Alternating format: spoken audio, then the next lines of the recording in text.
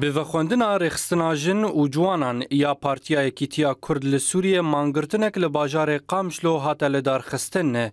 ew yek bi hazırbûna rêxistinên Partiya Yekîtî û rêxistinên sivî li herûha kesên serbixwe û alîgirên enekesê û daxwazkirin got PYD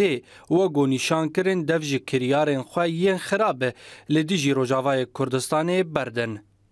Birasî karê xirabin, ne karê kurdayetiyê ne, قطعنا كبي كاري كرداتية نخدم كرداتية دا بهتر يكتيا كرداتية خراتكن يكتيا صفي كردي خراتكن وابنك قطعا نج خدمتها كرداتية دا طبعا امي قبول لكن وامتاز دهناين وامي بردوان بن دبي كاري خوي اشتي وديمقراطي دا. Ev mangirtin hat ji bo girtiyên siyasî û piştgiriya wan di zindanên rêveberiya Xweser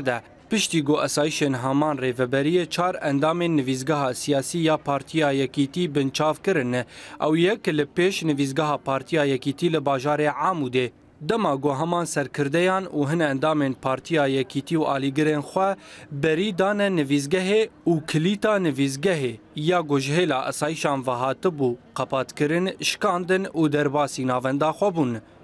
براشتی جیم خابنیه یک ایرو رو رو حساس ودقيق قضية كردية كردستان سوية روج ملتي كردرة إيرو جديفلا أم خبكن يك أم رزا خبكن يك رز إيرو هاتن أم قرتن وإيرو بري قيادة قيادة بدا كسي بدهاد زنداني زندان پیردن و كتي ودوجي مجموعات زي ذكر سروان جديفلاق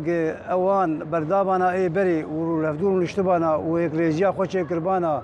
واف مرحله حساس ودقيق رجاس كردي خوازي لما خابن اف خدمتات ناكف برجوانديا قال لي كرد بێریوانێک کەچ عبدسەمت خەلەف برۆ ئەوژی یەک ji girtiyanە daxwaza berdana bavê xwe kir û got bavê wê beriyaneha ji hêla rejîmê ve hatibû girtin û niha ew ji hêla rêveberiyê jî têgirtin. Em dawa berdana wa dikin, em qebul nakin va tişta بابي محيا بري و او دعو بری نظام بعث دو جهوی سکنی نه زحمت عیب کل کی دو جه کرد خود بسکنه بس وقتا اجباری به بسر شغالی حقی ام بمینن ام دو جه هر کسی بسکنن و ام وک کرد ام گجی دعوا بردانا یو حوالی رێخستنا ژن و جوانان لە مانگرتنێ gelek تابلۆyên şێوەکاری û şanogerî li dar xistin derbarê rewşa jiyana milletê Kurd li Rojavayê Kurdistanê got ew dibin destên rêveberiya xweser de rastî kiryarên tûj tên. تشتي غير بانا تخدمت جمرناتي وامي تفضل بقصرن لأومي دام أوا قوم الله تيما تشاوى بياناوي فرطة كسنكرة ديانا بشكري